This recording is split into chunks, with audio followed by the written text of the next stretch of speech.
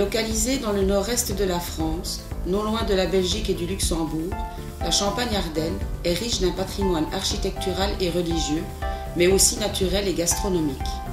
Connu dans le monde entier, le fameux vin effervescent des grandes occasions et son terroir se découvrent en parcourant la célèbre route du Champagne.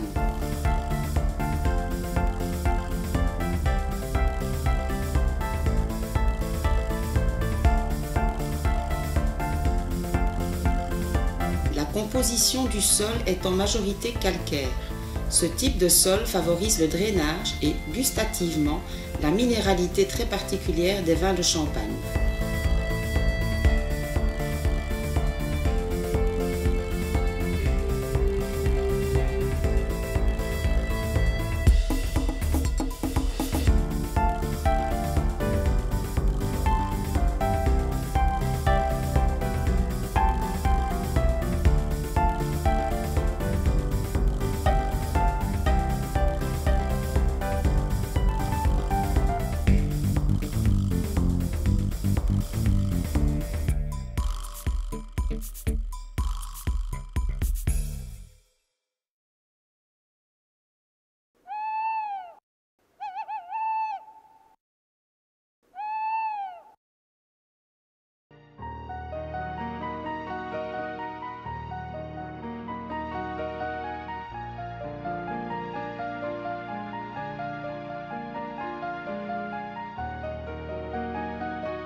La taille est une opération fondamentale et extrêmement importante.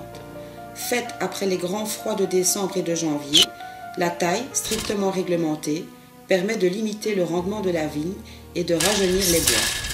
Elle requiert toute la dextérité du vigneron.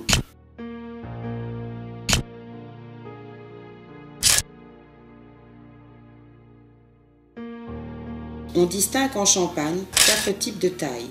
La taille Chablis, la taille cordon de Roya, la taille Guyot ou double Guyot et la taille vallée de la Marne.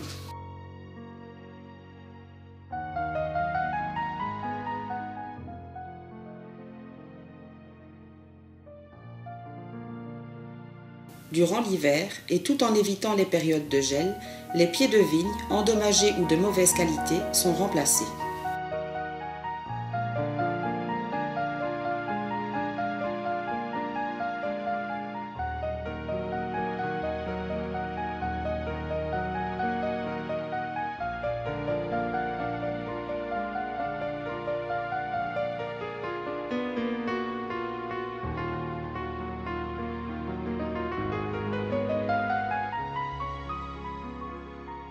Le liage consiste à attacher la charpente et le sarment au fil lieur, fil du milieu, et ce à l'aide d'une pince et d'un fil plastifié biodégradable. Le but du liage est de donner à la vigne sa forme et de veiller à son maintien afin de faciliter son développement ainsi que les travaux ultérieurs.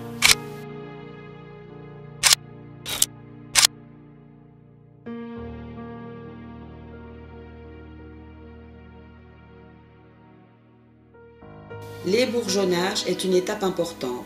Elle consiste à éliminer tous les brins non fructifères et permettre par la suite d'aérer les pieds de vigne pour éviter le développement des maladies cryptogamiques, maladies causées par un champignon ou organisme filamenteux.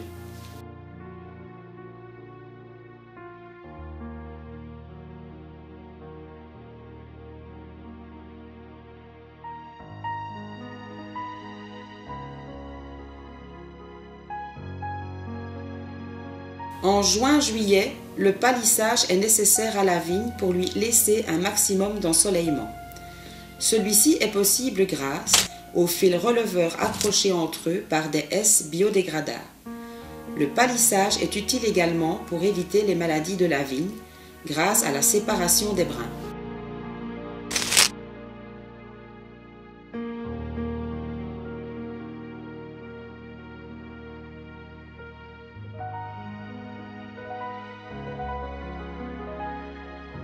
Le choix des cépages est adapté aux variations pédologiques et climatiques. Traditionnellement, la Champagne utilise trois types de cépages. Le pinot noir, le pinot meunier, le chardonnay. Le pinot noir, représentant 30% de la surface cultivée, et le pinot meunier, 40%, produisent des raisins rouges. Le chardonnay représente 30% des terres et produit des raisins blancs.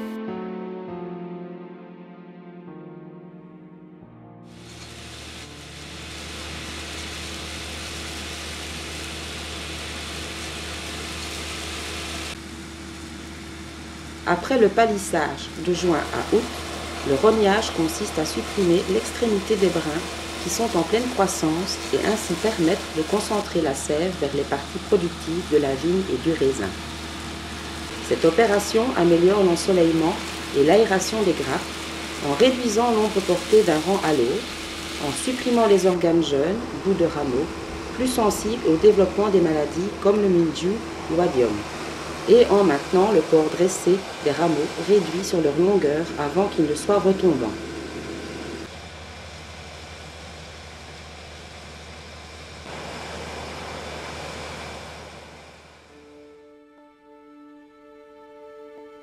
Couronnant les métamorphoses de l'année, la vendange a lieu fin septembre, 100 jours après la fleur.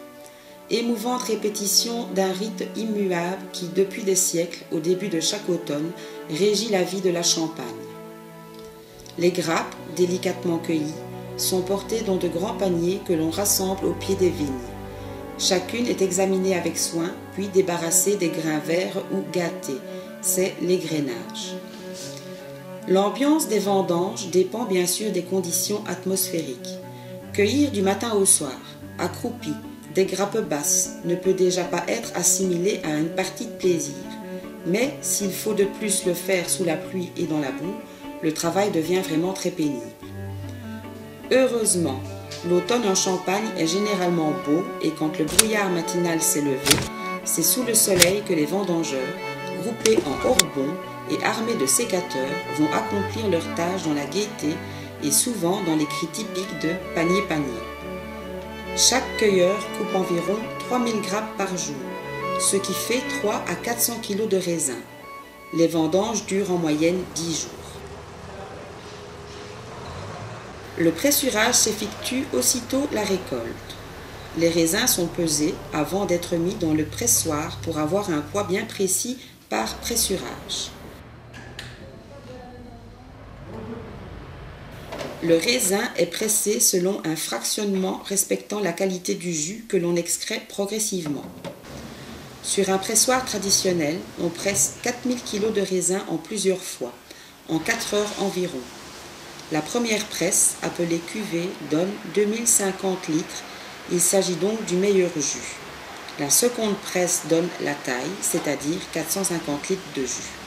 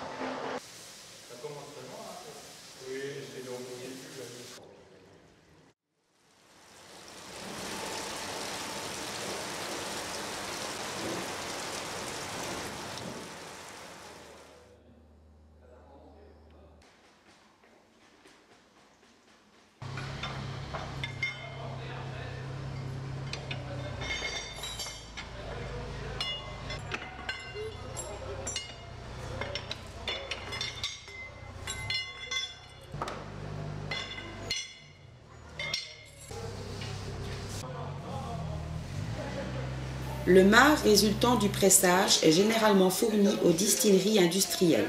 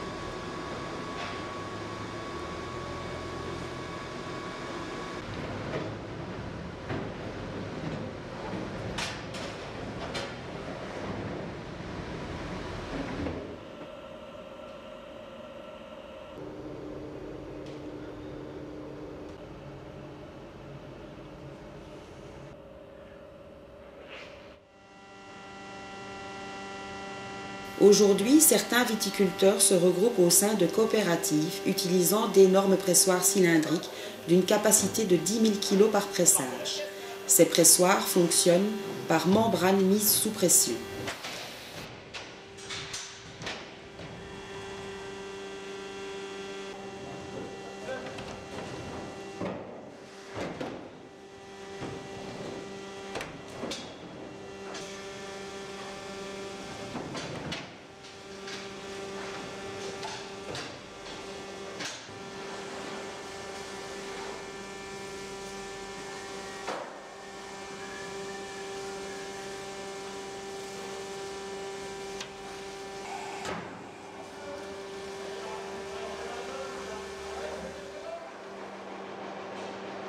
On laisse ensuite le jus décanter, c'est le débourdage. Par la suite, on soutire le mou par pompage en laissant au fond de la cuve les bourbes et l'écume et on le met dans des cuves, en général en acier émaillé, le plus souvent en inoxydable.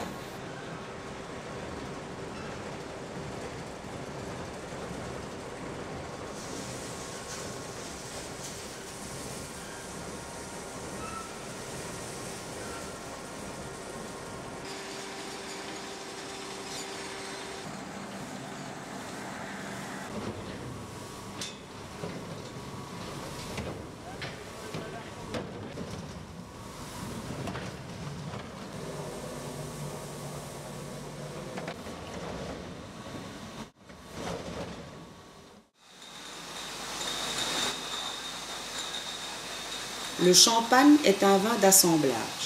Entre février et avril, après dégustation des différentes cuvées, l'œnologue déterminera dans quelle proportion il va pouvoir mélanger les vins qu'il a à sa disposition. L'assemblage terminé, les vins sont prêts à être tirés, c'est-à-dire mis en bouteille.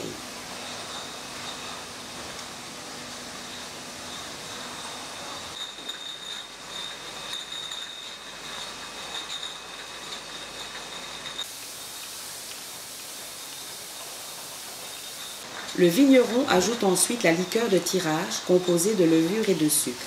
Cette liqueur de tirage enclenchera la dernière fermentation, dite prise de mousse.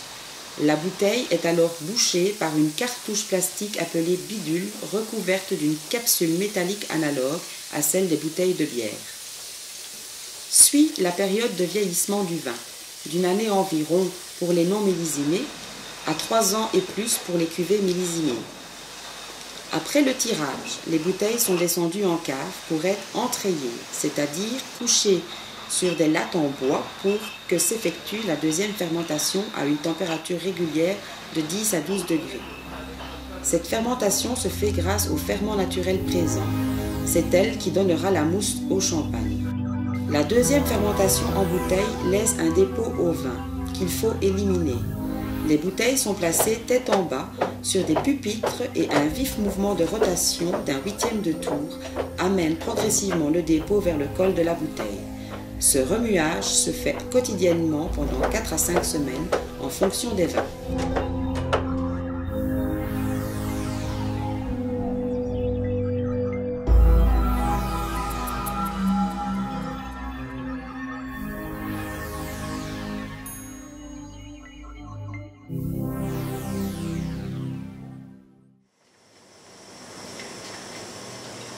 Lorsque le dépôt est complètement descendu, il est possible de l'expulser.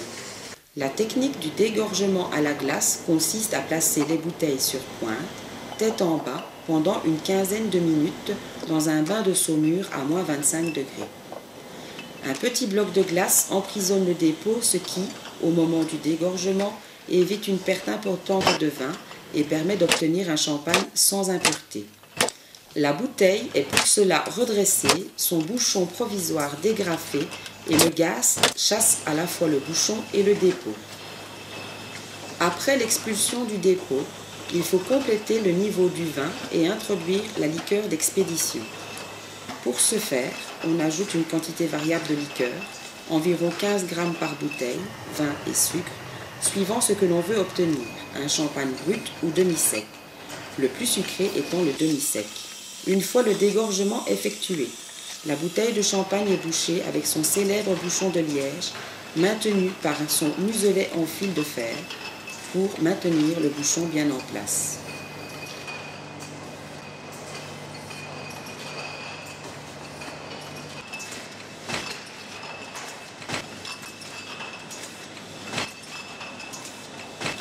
Par la suite, les bouteilles sont retournées pour bien mélanger la liqueur introduite précédemment. Les bouteilles resteront au repos encore six mois avant l'étape de l'habillage et enfin la commercialisation. Depuis la vendange, il s'est passé presque deux années, mais le plus souvent trois.